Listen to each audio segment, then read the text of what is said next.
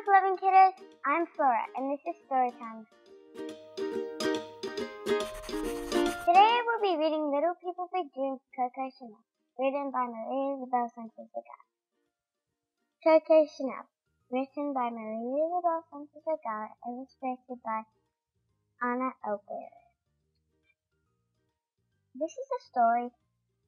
This is the story of a French girl called Gabrielle.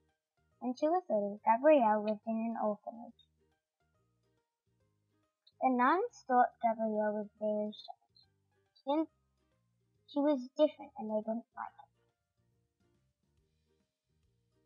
Gabrielle was different. While the other girls played, she liked to sew with a needle and thread. When Gabrielle grew up, she sewed by day and sang by night.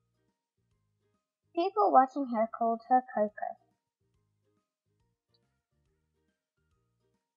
When Coco finally went to bed, she dreamt, she dreamt in shapes and patterns. She wanted to make so many things.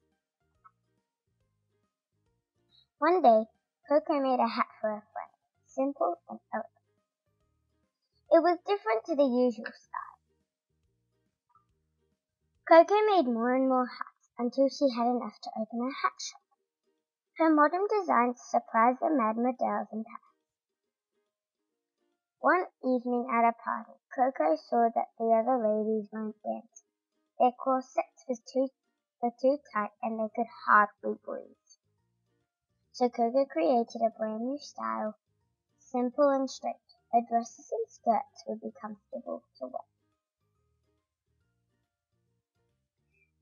At her first fashion show, some people sneered. Coco's clothes were too strange and different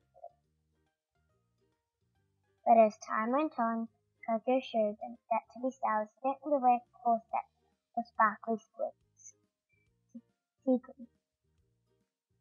And being different might make other people think differently too.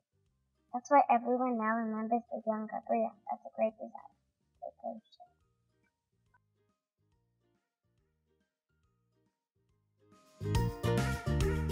Quiz time! What was Co- where was Coco Chanel born?